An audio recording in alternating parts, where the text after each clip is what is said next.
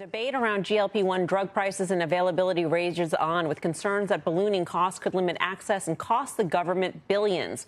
Monday, former NEC Director Brian Deese wrote in a New York Times op ed saying the U.S. government should try to lower prices through its Medicare purchasing program, but not all experts agree that that's the most effective way to control costs and blunt the impact on the federal budget.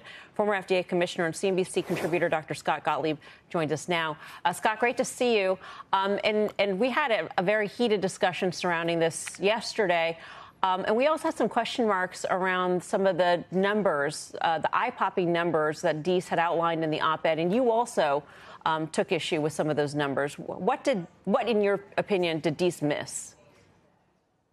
Well, there's no question this is going to cost Medicare a lot of money, but not nearly what was estimated in that op ed. First of all, they wrongly used list price to make their assumptions on what the cost would be rather than the net price. We know discounting is very heavy in the market right now, on the order of 40 to 60 percent between Wegovy and Zepbound. It's only going to get more uh, intense. And also, they wrongly assumed, it appears, that this was approved under a biologics license application. That's a biological, uh, in, and in fact, it was approved under a new drug application, and therefore it's already subject to the price negotiation within the IRA, within Medicare, and it's probably going to go on the list this year. So it's probably going to be subject to the negotiated price as early as 2027, and some analysts on Wall Street are also estimating that. And so the notion of the op-ed was that we need to extend the price negotiation under the IRA to encompass these drugs uh, because otherwise they won't be subject to the negotiated price until 2030, they said in the op ed. And in fact, they'll be subject to the negotiated price as early as 2027, and they'll go on the list probably, semaglutide will probably go on the list this year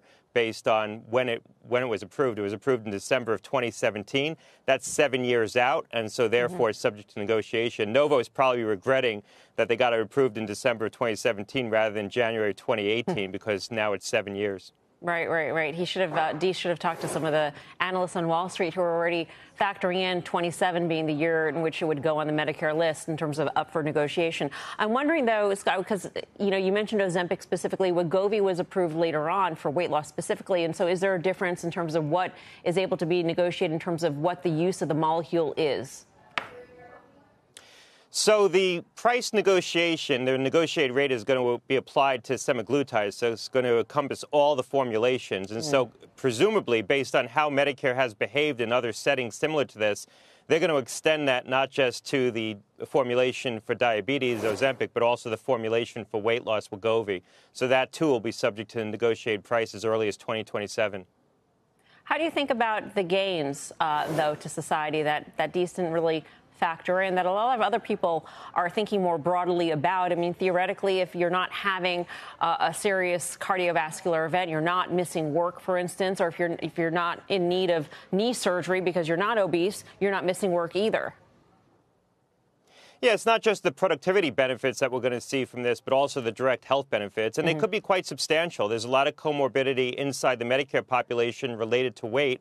Uh, and it also underscores the fact that a lot of people are going to be newly eligible for these drugs even before Medicare expands coverage for weight loss. And so their assumption in the op ed was that once Medicare expands coverage for weight loss, then all these patients will be newly eligible for the drug. And in fact, as new indications get on the labels of these drugs, and Wegovy is probably going to get an indication for cardiovascular risk reduction this year, those patients will become eligible for the drug because even though Medicare doesn't cover drugs for weight loss, they do cover drugs for cardiovascular risk reduction. If you look at the numbers right now, there's about 23 million Medicare beneficiaries that had, have had a prior stroke or MI.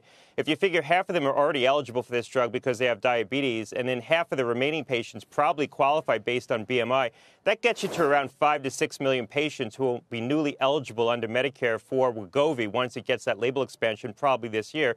And the total population of Medicare patients who would be eligible just based on BMI alone is probably roughly around 20 million. So 25% of that population will be will be eligible just based on the label expansion this year. And it's only going to increase as they get indications for sleep apnea, um, chronic kidney disease, and other comorbidities.